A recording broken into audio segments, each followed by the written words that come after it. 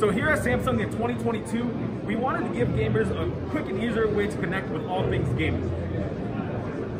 Getting all the recent feedback that we've got, we actually wanted to combine our hardware and software technology and created a new platform called Samsung Gaming Hub. With Samsung Gaming Hub, of course, you can easily access all things gaming, whether it's your recently played games, whether it's your console applications or anything like that.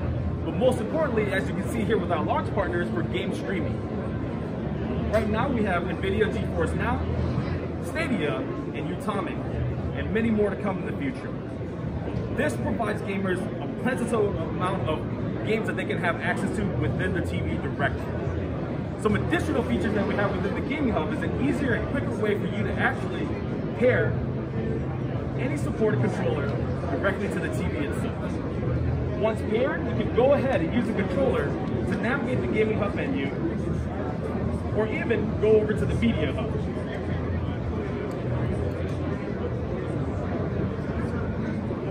Under the Media Hub, of course, is where all of our content for video streaming, and music, and all of that. So it's everything all in one, easily accessible. Not only that, but within our Gaming Hub, some of the cool features that we have, so let's say if you wanted to check out some of the new popular games that are curated for you, or when you click on the game, we'll actually give you detailed information regarding that game, as well as providing you some more additional media such as videos or photos of the like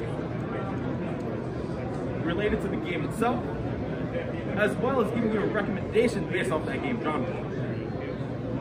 That is our Samsung Gaming Hub. Now, with that being said, this actually ties into the rest of this wall. If you guys want to follow me over here, we have additional information for you guys.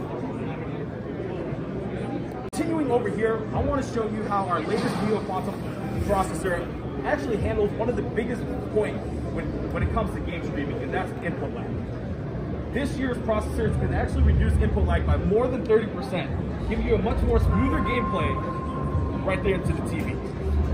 But most importantly, with our AI upscaling technology, we also enhance your picture quality and your sound quality from, from the games that you play.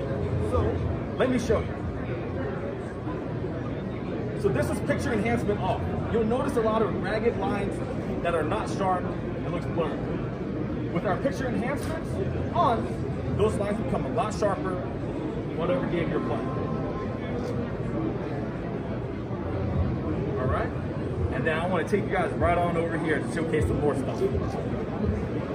Following on from there, I want to showcase you guys Game Bar 2.0.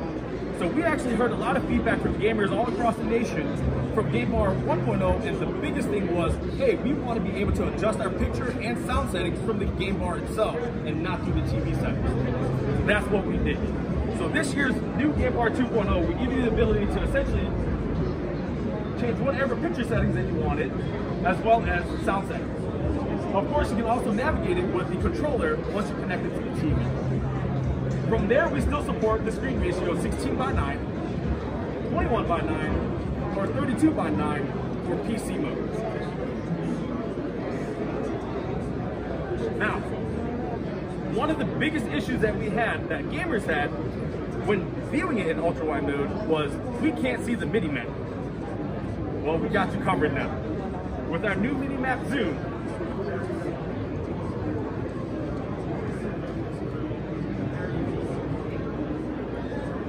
we take care of that issue.